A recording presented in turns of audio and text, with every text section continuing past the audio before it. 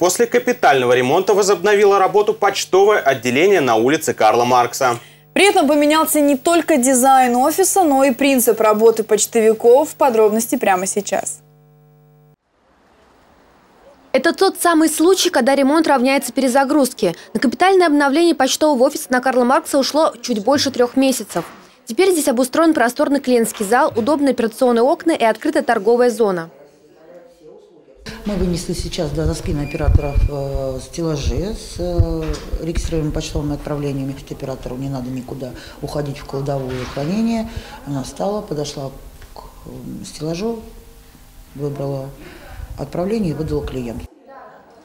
Доступная среда для маломобильных клиентов – современное требование. Поэтому почтовое крыльцо оборудовано пандусом, операционный зал – кнопкой вызова.